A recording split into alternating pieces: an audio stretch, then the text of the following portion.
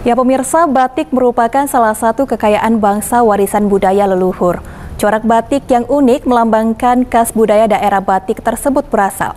Begitu pula dengan batik Jambi yang memiliki motif batik khas sendiri seperti motif batik yang terdapat di Galeri Bahri Batik di kawasan Legok Danau Sipin milik Datuk Bahri, di mana corak pada produksi batik yang ia buat memiliki nilai khas Danau Sipin Jambi dengan pewarna alam yang khas, sehingga dapat menarik minat pecinta batik untuk mengoleksinya. Informasi ini sekaligus menutup perjumpaan kita kali ini. Pemirsa, saat ini Jack TV sudah beralih ke siaran digital.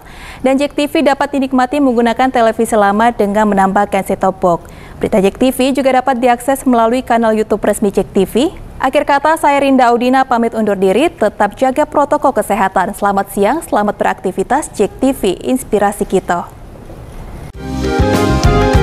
mulai mengamati dan mempelajari corak batik klasik Jambi sejak tahun 1984.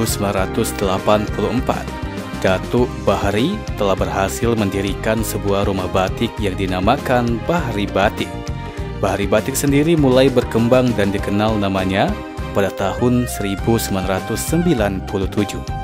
Dari sepanjang perjalanannya meneliti motif batik Jambi, Datuk Bahari dapat mengenal sekitar 200 motif batik klasik Jambi, di mana setiap motif tersebut kaya akan makna dan sejarah kebudayaan kerajaan-kerajaan terdahulu. Datuk Bahri memaparkan, sampai saat ini ia telah menciptakan sebanyak 650 motif batik, yang mana karyanya tersebut berkiblat pada motif-motif Jambi kuno yang ia tuangkan sedemikian rupa menjadi motif batik khas Jambi yang syarat akan nilai baik dari sejarah, budaya, dan juga flora fauna yang ada di Jambi. Dari jumlah motif batik karyanya tersebut, 20 di antaranya telah memiliki hak paten atas nama Datuk Bahri. Selain mempelajari motif batik, Datuk Bahri juga meneliti bahan-bahan alam yang dapat digunakan sebagai pewarna alami pada kain batik. Beberapa bahan yang berhasil ia gunakan antara lain kulit bawang, kulit jengkol, indigo, bunga taru, pohon jati, dan lainnya. Di Galeri Bahari Batik ini juga membuka peluang bagi siapa saja yang ingin mengenal mengenai batik Jambi lebih dalam. Selain melihat proses pembuatan batik tulis, Datuk Bahari juga akan memberikan edukasi mengenai sejarah batik. Bahari Batik, Batik Bahari itu sudah uh, eksis sebenarnya itu dari 84 kemudian di situlah saya mulai meneliti batik Jambi kemudian dengan corak karena Jambi mempunyai beberapa motif klasik Jambi.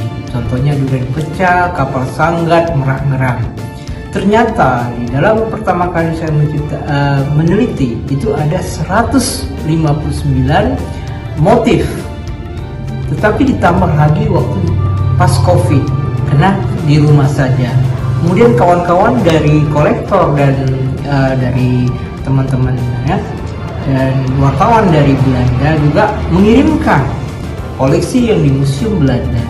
Kemudian di situ mulai saya orek-orek lagi karena terkumpullah uh, batik Jambi yang klasik dan yang unik itu ada 200 macam motif klasik Jambi.